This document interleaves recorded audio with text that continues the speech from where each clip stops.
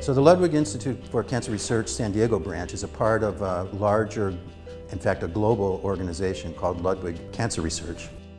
This group is a, a collection of laboratories which are very collaborative, interdisciplinary, and they focus on the fundamental aspects of cell biology and genetics, uh, which influence and direct normal development and normal growth, and as well what, what defects in those processes underlie the development of cancer and other uh, human diseases.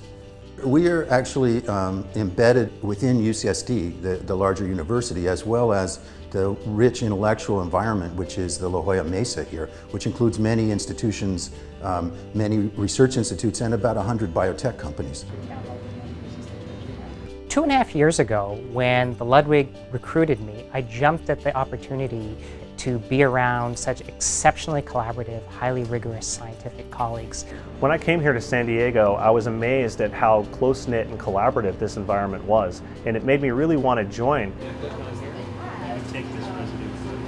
What my lab works on is the pathways and proteins that control genome organization and chromosome segregation in both normal and cancerous cells. The pathways that we work on are critically important for human reproduction. Uh, but also we're beginning to realize how important they may be for uh, tumorigenesis and cancer onset.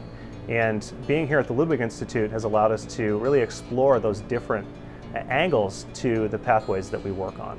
What we were able to see is that there's major defects.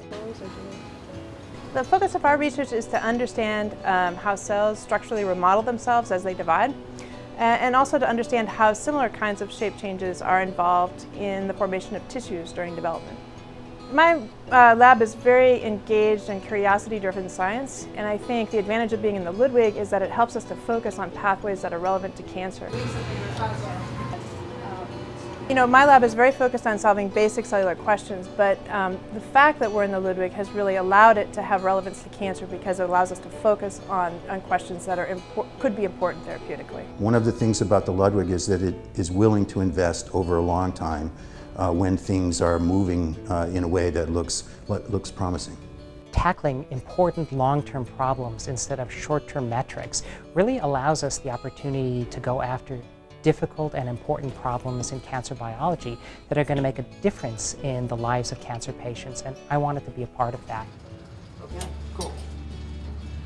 We are interested in understanding how cells make sure they get the right copies of their genomes. We've known for a long time that cancer cells make mistakes in distributing their genomes, and we are interested in understanding how this fundamental process works and how we can potentially target it in cancer. So one of the great features of the Ludwig here in San Diego is that we have people with really remarkably diverse expertise that are very highly concentrated in a small environment. And this allows us to really drive our work into entirely new areas. Our team is focused on how cells normally distribute genetic material to their daughters, and then how errors in that uh, are contributors to tumorigenesis if we do see something, we don't just throw it away as an aberration, we actually follow it. And that's where many of our discoveries have come from. The benefit of being here at the Ludwig Institute is that we could take this fundamental knowledge and really translate it directly into therapies, all under one roof. This is really cutting edge research that we're doing, but I think it's the combination of our skill sets and the experience and the know-how that we have here, as well as our attitude towards science, which is being more adventurous, that really is allowing us to make breakthroughs in this area.